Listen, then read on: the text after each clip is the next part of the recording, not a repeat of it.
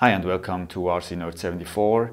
In today's Tech Stuff episode, I'm gonna give you a short review about the modifications on this 13 inch 4 blade prop I modified for my FunCub from Multiplex.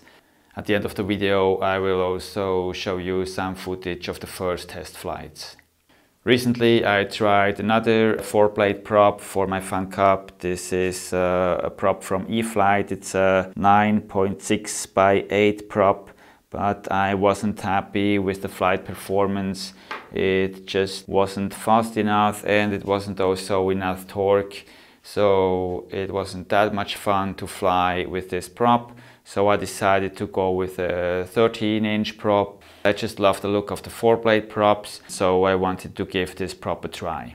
There were a few little modifications I had to do because of the design and also uh, the size of the prop. Now let's go through the steps.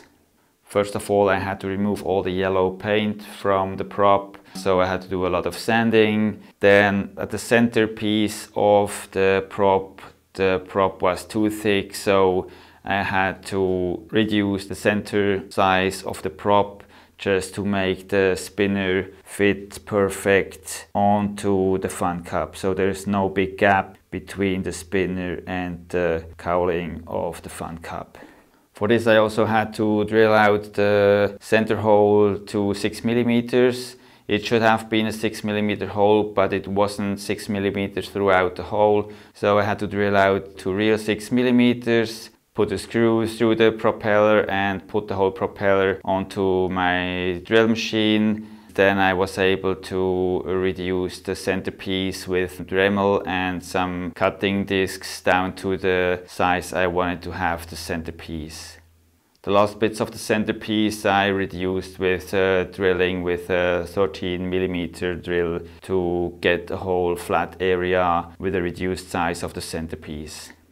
I didn't like the shape of the tips of the blades, so I decided to cut off 9 millimeters of each blade tip just to make the whole prop look a little bit more aggressive. And for this I just also used my Dremel to cut down the propeller blades. And at the end I also had to sand down the whole blades just because on the edges there were some not so smooth edges on the stock propeller, so I had to sand them down and also sanded the whole propeller surface and also had to balance the whole propeller to make it run smooth.